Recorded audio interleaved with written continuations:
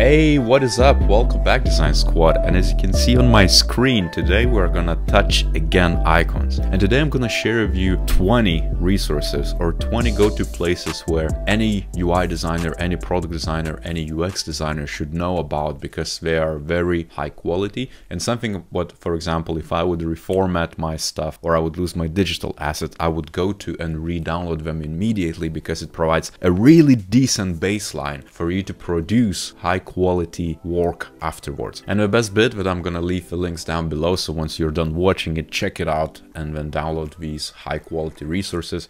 So number one is of course material design. I think this is a no-brainer because it provides a very well thought out, very consistent icon sets which you can download in bulk. You can, you know, check outlined, you can have rounded, you can have two-tone, so you have a lot of different version profiles and you can download that immediately and it's just gonna give you hundreds of to go to. Now you could go and just download bit by bit. As you can see, I can just download as SVG and just go in and design it. But I also like this material design icons.com, which basically has a whole pack of it and you can just download it immediately as a bulk. Now, number two is the nounproject.com, which is basically a search repository of icons of professional icons. For example, I have my own icons listed on this. So you basically search for a query and it gives you high quality this. Okay, this is my icon. Boom. As you can see, then you can get this icon immediately, log in, and then by attribution, it's free to use. We also have this really nifty app, which basically allows you to search the same way on a Mac. And then let's say you can switch the color as well to that icon, even drag and drop to let's say your canvas or sketch or something and then edit it that way. Next, we have iconmonstr.com. It's similar to Noun Project, but this is a bit more, you know, it doesn't have a paywall. Let's say you don't have to log in, you can just immediately download. And so if we search for something like count or something, something generic term. You can see I'm gonna get a lot of different icons to choose from. I can choose filled, let's say outlines or thinner icons, like let's say this.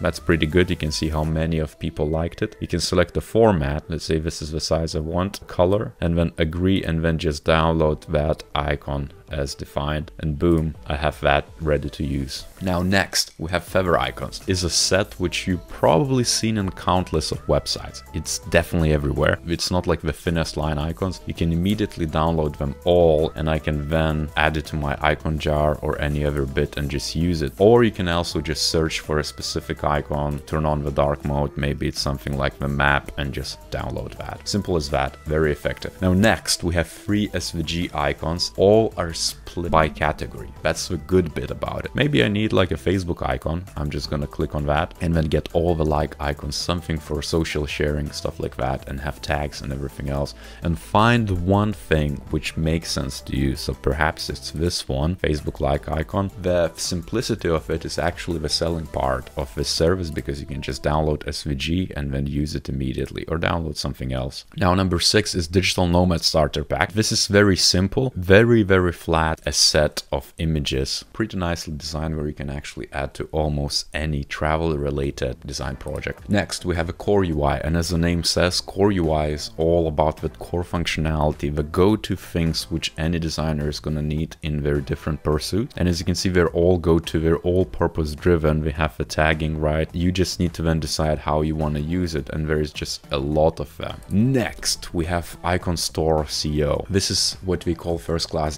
designer icons. For example, this one, you can immediately get a, a glimpse of exactly what icons you're gonna get. And this is like really high quality illustrations. Let's see the icons at PNG level would look like this. The only issue, or I guess maybe it's not really an issue, is that most of the sets are quite limited in size. I guess you could hire the designer because you can, you know immediately who is the designer behind it. Uh, Chanut industry so you can reach out to them and get a fuller bigger set of icons for example for a game you are designing or something like that. Next we have Zwicon icon set for, you know, for your projects where you can freely download well-defined, well, very well crafted.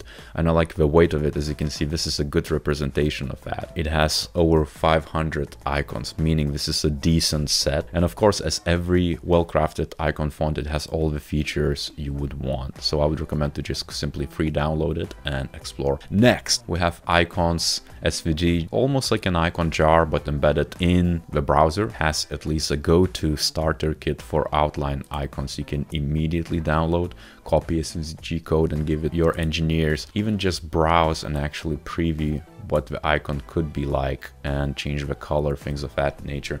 So it's almost like a generator for very basic icons to then customize and add to your projects. Next, we have the free icons by Icons8. Over 100,000 free icon set. I can just select, let's say COVID-19, and I'm gonna get a lot of virus related icons, which are, for example, maybe this would be it. Maybe this is something I'm after. I could get embeddable HTML snippet. I can download the icon itself. It's a lot of icons. It's 100,000 of things to choose from. So it's really good resource to go to. Next, we have Ikonate and I like this specific resource, this go to a repository because for example, you can edit the border of displayed icons. You can search for a specific icon, for example, account or something like that. You can increase or decrease the border. Let's say you can literally make it as thick as you want to. You can increase the size of it. You can select a different color if you want to. So for example, if I would go for something very standard gray and boom, it exported the set, those predefined parameters. As you can see, we have this Illustrio.com. It's an icon library. Every tool I'm sharing with you has very different type of filters. As I'm just flicking through, you're gonna immediately see what I'm talking about. It's exactly the same icon set, but in a very different type of outlook. The best bit is that you can actually preview at all times how it would look like in very different style. And then you can download the one you want. You can also switch the colors if you want to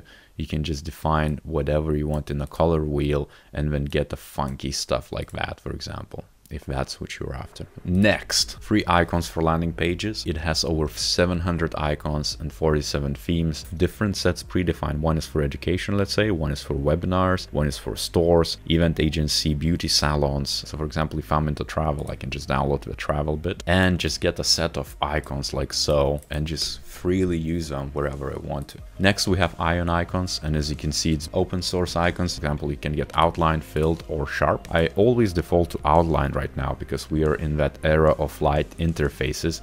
But as you can see, it has quite a few different icons. I can just, for example, search Facebook because I saw that. Boom, I can just download that alone, get embed code for web embed. I can get also all of it back in a massive block with different icons. Next, we have very different stuff. So it's called Simple Icons on simpleicons.org. As you can see, it's a lot of different logos. So for example, if you work with any brand or you want to showcase the brand or is maybe it's a concept case. This is where you would find a logo of that brand and then you can use in your design work. Next, we have Streamline icons and Streamline icons, it's over 30,000 vector icons and every time I download it, it takes forever. You could also give it to your developers to immediately add it to their code bases through NPM and or you could just download the free icon. And if I preview what I download, as you can see, it spits out the icon jar so you can immediately add it to your icon jar. So all those sets are immediately included for you to use. Number 18 is Uni Icons or Unicorns. Regardless, it's by Icon Scout, again split into different styles icon set. And if I let's say preview one, for example, this is line one, which is totally free. I can download it a single icon if I want, so I can of course change the color too, so it's almost like an app to edit. They're quite generic, but they're well crafted to then add to your project work. And then number 19 is a treasure trove because it has over 3 million of vector icons in it.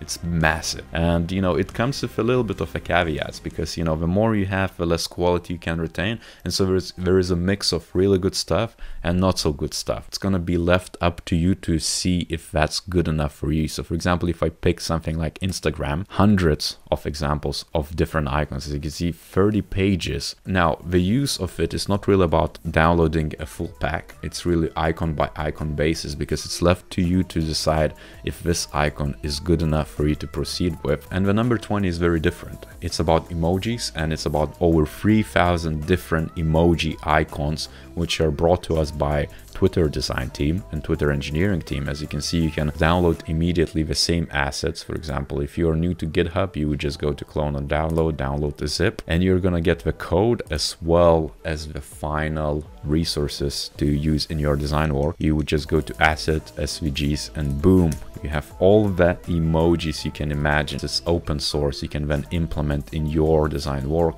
in your maybe new social network, in your apps, in anything you do which requires a pictogram to better showcase the emotion user tells their text. And so, if you like this video, of course, give a like, subscribe to this channel. If you have other resources you go to and you want to share with the community, leave a comment down below. And on that note, I'll see you next time.